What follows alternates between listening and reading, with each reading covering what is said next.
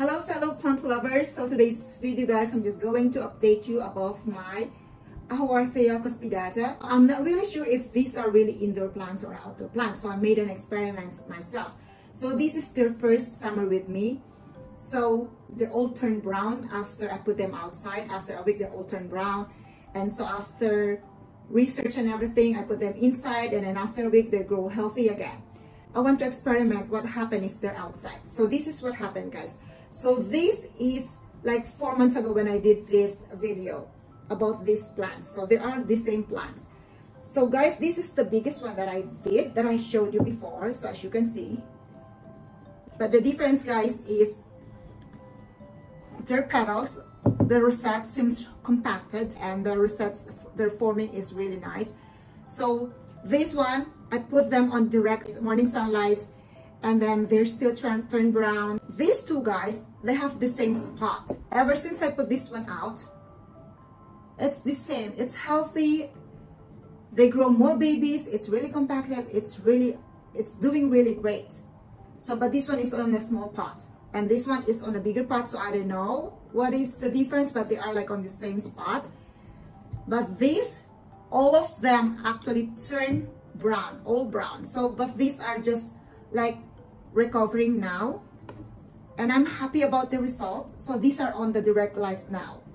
So I think it's a matter of time. They will um, adapt on the weather if it's really hot or not. But when I search about these plants, they're supposed to be indoor plants or at least if you want to put them direct sunlight, it's supposed to be like three or four or four or five hours morning sun.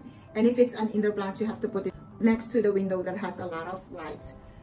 So yeah, but I experiment. I put them outside on direct lights, really hot, and they turn brown, and it scares me. Some of them died. Like, look at this one, guys.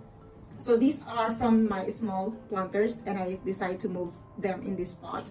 And look at this one. So this one is dying, or it's probably dead by now. And look at this one, they're still brown. And this one is really doing great, but these are on the same spot as well but they are starting to recover. So I think they can stay outside now because they already adapt the heat.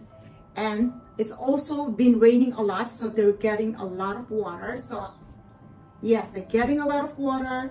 And then after that heavy rain, they will get a lot of lights. That's kind of like messing my plants, but I still want to know. I want to understand them. So I did a, a big experiment. So yes, like a couple or three of them died like this and this one I think it's brown still brown but I think it will recover because it's starting to form new one see when they're inside they're like really a healthy green but like thin but this one they're really compacted I like the way they are right now the, the rosettes are really good they're very good and you can see a lot of babies as well so I will probably uh, move this one on a bigger pot but I will pull the whole thing and just put it on a, like a bigger pot like this. So yes, and I'm really happy with all the rosettes because they're very thick and compacted.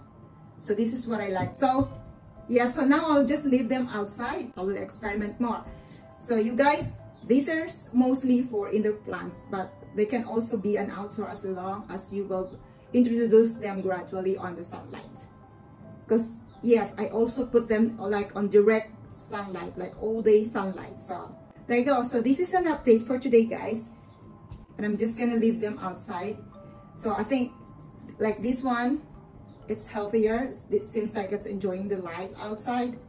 So thank you for visiting my channel Gardening Journey with Edz and please do subscribe by hitting my avatar at the end of this video so you'll be notified for more videos and updates. Thank you for watching and once again, see you around until next time and bye.